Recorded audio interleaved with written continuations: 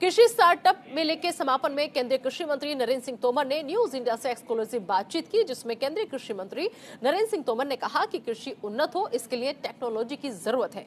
और सुनिए क्या कुछ कहा उन्होंने। हम सीधा रुख करते हैं नरेंद्र सिंह तोमर साहब का। सर, उन्नत किसान और उन्नति किसान की किस तरह से इस कंक्लेव के ज़रिए आप देखते हैं? हमारे देश की कृषि, उन्नत कृषि में तब्दील हो, इसके लिए कृषि के क्षेत्र में टेक्नोलॉजी का समावेशन अत्यंत आवश्यक है। भारत सरकार ने स्टार्टअप्स कॉन्क्लेव एग्री का आयोजन किया था और इसमें बड़ी संख्या में 1500 से अधिक स्टार्टअप्स आए थे। 300 लोगों ने अपना स्टॉल भी लगाया। हज़ारों किसान नई टेक्नोलॉजी से रूबरू हुए एग्री स्टार्टअप्स को आगे बढ़ाना यह समय की ज़रूरत है।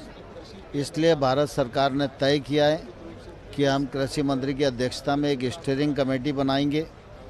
एक कृषि सचिव और डेयर सचिव की अध्यक्षता में कार्यकारी समिति बनाएँगे, जो इनको आगे बढ़ाने के सभी योजना को एग्जीक्यूट करेंगे।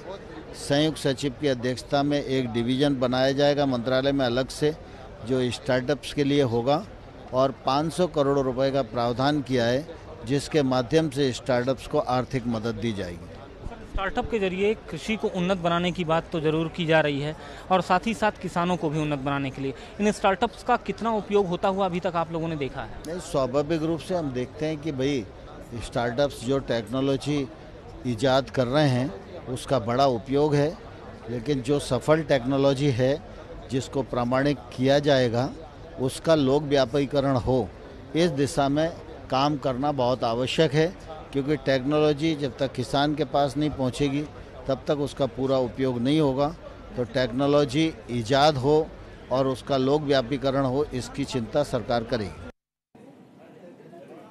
केंद्रीय कृषि राज्य मंत्री कैलाश चौधरी ने पूसा में आयोजित एग्री स्टार्टअप कॉन्फ्रेंस को लेकर हमारे सहयोगी राजीव तिवारी से खास बातचीत की। सुनिए।